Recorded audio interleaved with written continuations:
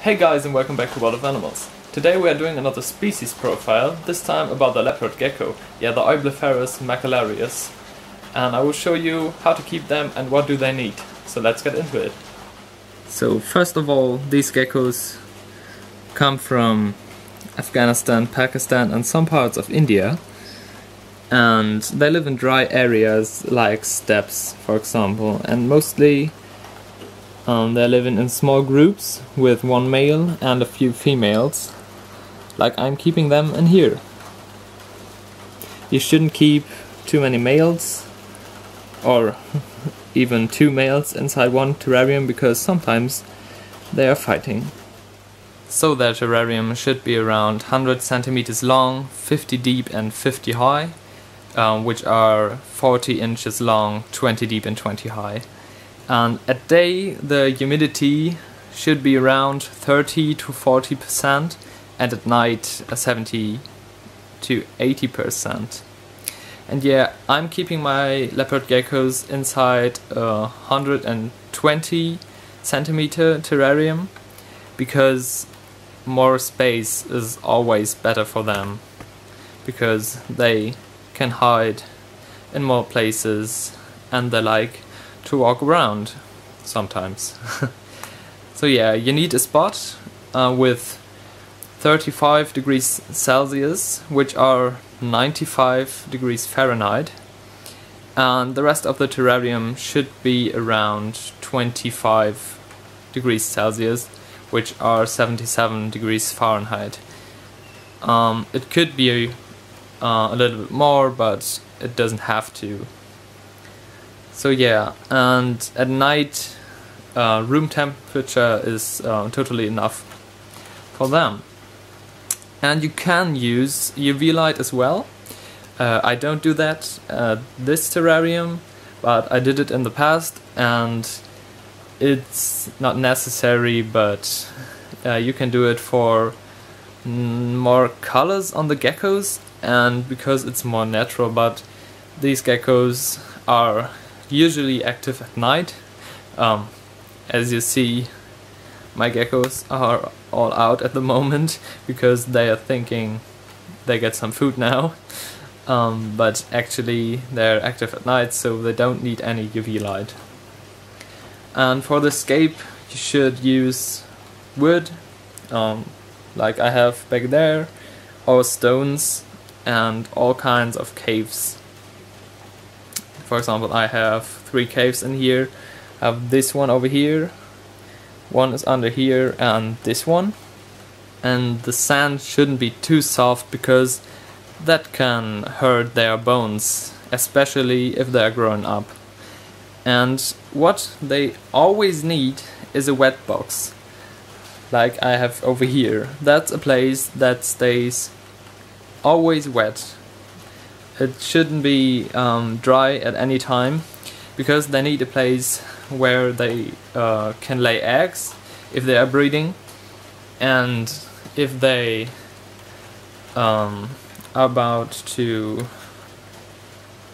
lose their skin uh, they need some uh, high humidity around 80% 80 or 90% so I have this box um, with a high humidity because I keep some moss in here that's always wet as you see. And I put it under here because there it isn't too warm and the moisture stays in there. And as you see here the sand isn't too soft. It's kinda hard. But if they want to dig they can. So this is a pretty nice sand I use and of course they always need water because animals drink. Yeah, that's very wise, I know. And over here, one of them, the male, I keep. They are always curious.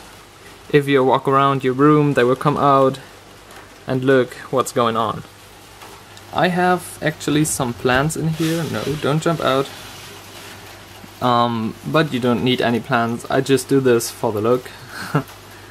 and make sure they have some places to climb, like my escape background here. And yeah, actually that's it. I've kept these geckos for plenty of years now, and they're totally fine. I had some juveniles, um, I showed one of it uh, in a past video, but I sold it actually, because four is enough to me, and at the moment I don't want to get them to breed because I want to focus on my tanks and my fish.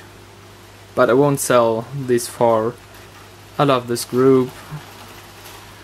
They all have uh, much personality, especially this guy here. It's the male. Look how curious he is always. But yeah, they're very beautiful and cute. It looks like actually they are always smiling.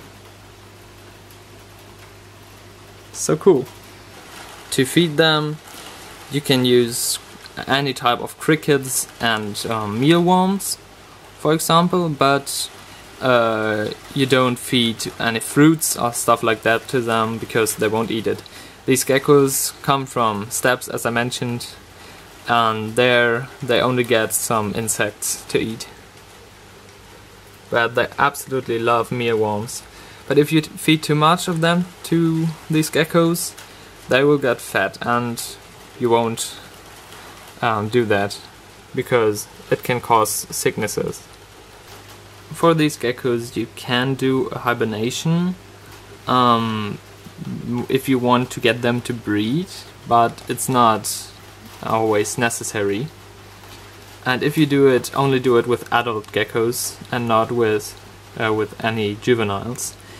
So for the hibernation, you should keep them for six to eight weeks at a temperature of 15 to 18 degrees Celsius, which are 59 to 64 degrees Fahrenheit. And um, for the hibernation, a small box with a cave and some water is already enough to them because uh, and this time they won't be very active and they won't eat so you don't have to feed them. And one thing I just can recommend to all of you guys is buying a book about a species you're going to keep. Like I have books about most of my animals and it's always helpful if you have questions or you're wondering how to do something you just can look it up inside your book.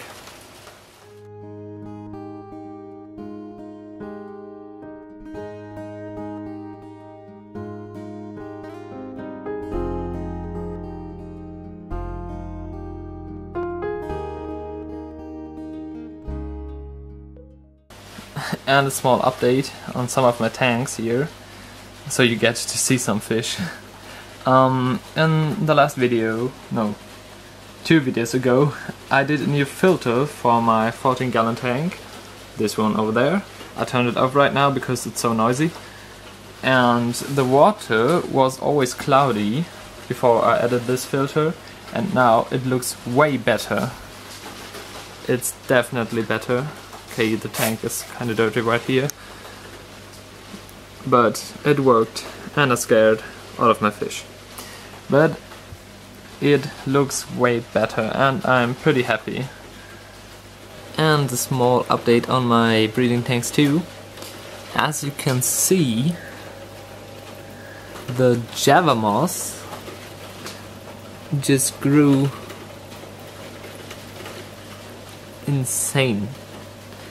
You know, um, as I set up these tanks, the Java moss was about this high and all this grew in the past two weeks. Everyone in here is doing pretty pretty well and hopefully in two more weeks or something like that I will get some new fry. I'm really excited about that. So that's it for today guys, hopefully you learned something and you enjoyed the video. If you did, leave a like and a comment, and subscribe if you want to. See you on the next video.